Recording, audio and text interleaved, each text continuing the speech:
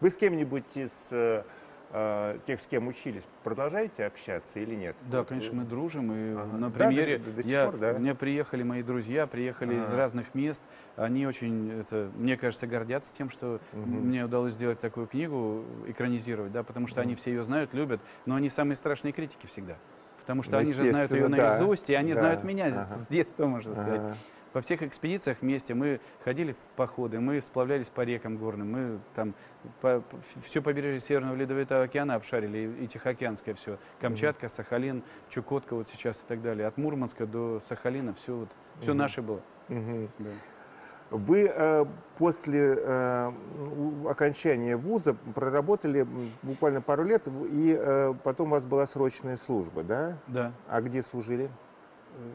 Ведь- а, ну да, собственно, да. Да. мне сказали, Да. забудь об этом, да. Понятно, да.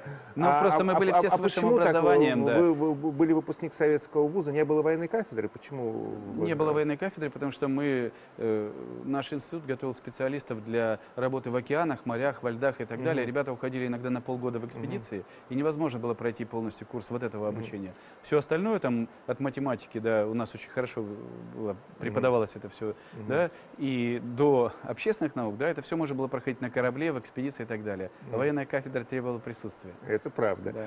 А вы помните, когда вы впервые книжку прочитали эту?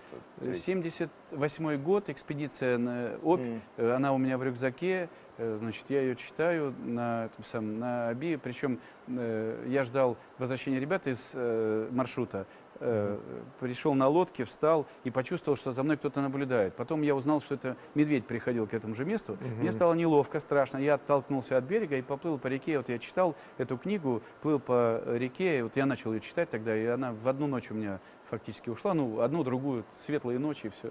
Так Мгм. что я очень ее полюбил тогда, и мне кажется ну, замечательным то, что сейчас удалось эк- экранизировать эту книгу. Не политкорректно, но без злого умысла. Иронично, но без сарказма. Пристрастно, но по-честному.